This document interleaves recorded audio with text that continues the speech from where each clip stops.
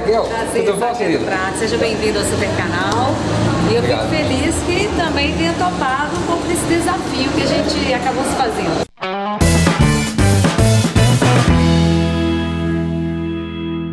De volta aqui com a edição do nosso telejornal.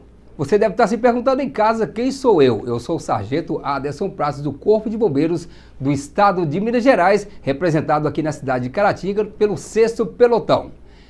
Eu estou aqui para cumprir um desafio que nos foi feito né, através da apresentadora Raquel Bossari, que foi até o quartel de bombeiros para conhecer o nosso trabalho e, respectivamente, nos convidou a conhecer o trabalho dela aqui na bancada do telejornal e também ali na edição do jornal que vai ao ar todos os dias aqui para você, para que você possa ficar melhor informado.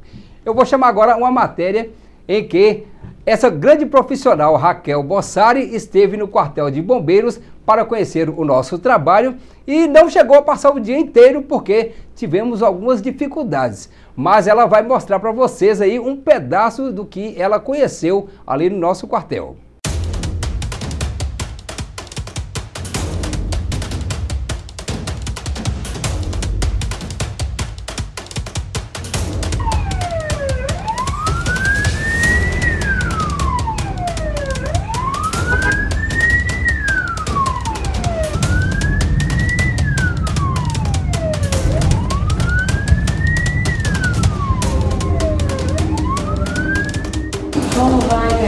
Tudo bom? Tudo bem? Prazer, muito obrigada. Quais são as orientações para mim? que eu vou passar esse dia hoje. Bom, na verdade você vai, você vai conhecer, você vai ver a nossa rotina, né? você vai ver um pouco das dificuldades né? que, que a gente passa. E a recomendação é a mesma para os nossos militares, ter cautela, ter cuidado. Pode faltar é co- é coragem. Não, não pode. É, o bombeiro tem que, tem que ser corajoso, tem que enfrentar. O desafio foi lançado. A jornalista Raquel Bossari, nossa visitante, recebeu uma farda do Clube Águias de Teófilo Otoni, semelhante à dos bombeiros.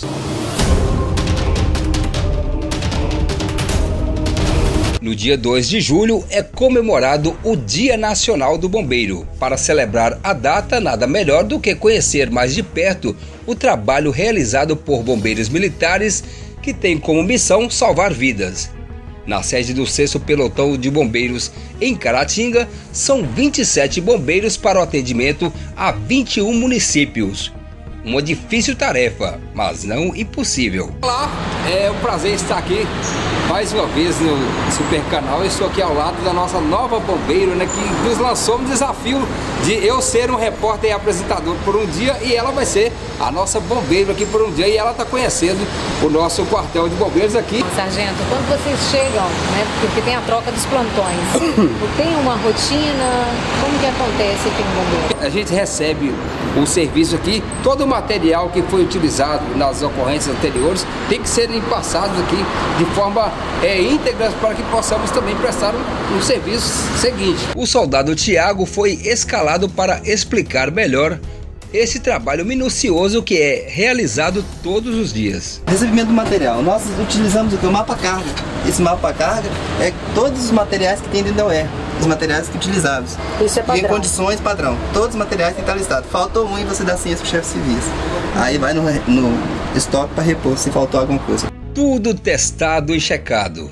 A unidade de resgate possui todos os itens necessários para o atendimento de uma emergência, inclusive em casos mais graves. Damos oxigênio, oxigênio para vítima, dependendo do caso, vítima de trauma, nós fazemos para colocar o oxigênio, nós temos a oximetria da vítima e aí, de acordo com a oximetria, nós aplicamos oxigênio, oxigenoterapia na vítima. Tem o DEA também, desfibrilador automático, vítimas de, de parada, nós utilizamos. É, muita gente tinha dúvida se o bombeiro tinha ou não tinha esse, esse equipamento, esse recurso. Tem, então tem. tem. O que é mais Tem- gratificante nessa profissão? gratificante é que você poder ajudar o próximo, entendeu? Você já recebe o seu salário, já tem seu sustento e depois você tem a condição de ajudar o próximo. Independente se você é rico ou pobre, é, depender de cor, religião, você sempre está pronto para ajudar o próximo, entendeu? E é preciso estar preparado para todas as situações. Preparamos uma simulação e é hora de colocarmos em prática. Então, Cabo Caso, o que a gente vai fazer aqui agora? Uma simulação, né? É, no caso aqui nós vamos fazer um treinamento, né, onde vamos simular é, o atendimento a uma queda de motocicleta. Entendeu? Vamos fazer aqui, a vítima no caso estaria com suspeita de fratura no membro superior esquerdo. Nós vamos fazer retirada do capacete, sua mobilização, é, imobilização também do seu membro, a sua rolagem para a prancha e o seu é, deslocamento até o HPS para fazer o atendimento médico.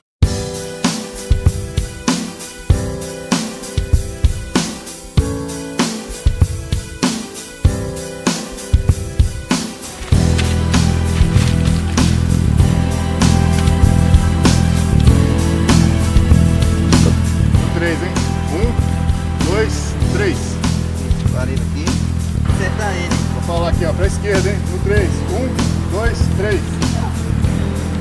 Pra baixo um pouquinho. 1, 2, 3.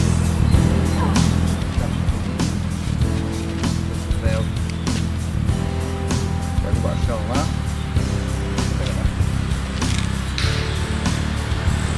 No caso aqui, ó, não poderia tirar a mão, tirar a mão só para explicar. Colocando aqui o colar cervical, a cervical dele estaria imobilizada tanto para cima quanto para baixo. Entretanto, para o lado, ele ainda mexe. Então a gente coloca o baixal, que é onde mobiliza lateralmente, para ele não ter movimento nenhum, vai ficar completamente mobilizado. Aqui, no caso, você pode ver que tanto para um lado quanto para o outro ele já está imobilizado. Então aqui eu já poderia largar a cervical dele. Isso é proteção, para é. não... Aí agora você faz o exame de corpo, igual eu passei para você, entendeu? Para ver se está com uma fratura de clavícula. É isso. Aí nesse contato, Cabo Cássio, se a vítima estiver consciente, conversa com a vítima. Conversa com a vítima. No caso aqui, a gente está simulando como se estivesse inconsciente, mas a gente vai perguntar, né? Oi, tudo bem? Vai dar um batido para incomodar ele, entendeu? Vai tentar abrir o olho dele aqui, ó. Entendeu? Pra ver se ele tem situação. Achado, o bombeiro está perguntando se está tudo bem numa situação tão caótica, acidente, mas isso é normal. No caso também, se, se a pessoa, às vezes tem algumas pessoas que estão simulando assim, que tem algum problema psicológico e tal, a gente dá um, um estímulo doloroso nele aqui, ó. Entendeu? Que aí a pessoa reclama na hora, entendeu? Pra poder. Fazer... Caso a simulação é porque ele teve uma fratura no braço. É, ele teria uma fratura, no caso, no membro superior direito, né? Onde nós vamos proceder com a, com a mobilização dele agora. Gente, só adendo, não é fácil. Não é. Isso aqui é tudo uma simulação, mas eu já cansei, que é impressionante a gente pensar que a vida está nas nossas mãos. Isso é preocupante? Isso. Como é que você encara isso, Cabo Cassius? Eu acho que é, é preocupante no, no, no é no que tange a responsabilidade do fato, né? Entendeu? Agora, é estimulante também saber que está ajudando a pessoa, né? Ele está aqui com a vida na mão sim, mas com a responsabilidade que nós temos de, de salvá-la, né?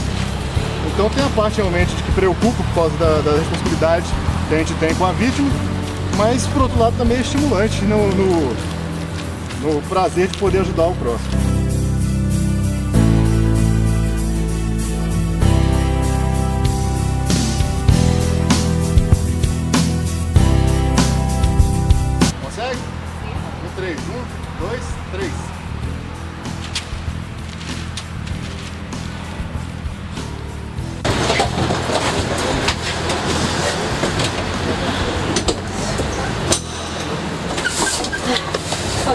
Agora efetuaríamos o deslocamento até o hospital. Maravilha. Mais uma vítima atendida. Estamos prontos para os mais diversos tipos de resgate. Só puxa lá pra cima. É. Quase saiu. Quase saiu. Iniciar o jato em neblina. E quando soa o alarme, é o alerta de que alguém precisa de socorro. Vem, vem, vem. Cadê uma correta? O que, que, é isso aí? É uma. Fiz combustível perpétua. Quer combustível? O quê? Deixa aí, deixa aí. O quê? Crise combustível. Crise combustível. Vem, vem com nós. Filma na nervosa agora.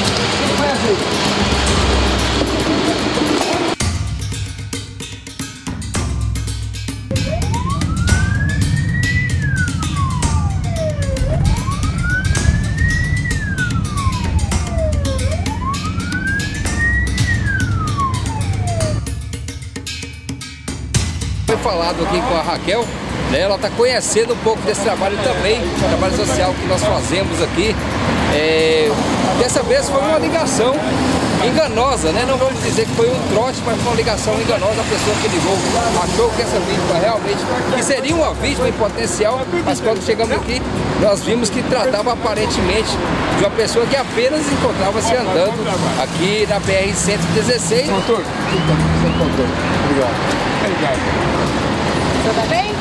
Graças a Deus. Então tá bom, aqui também.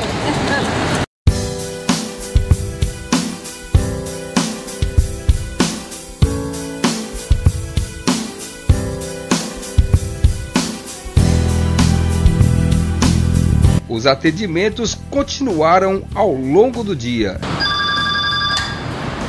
Corpo de Bombeiros Emergência.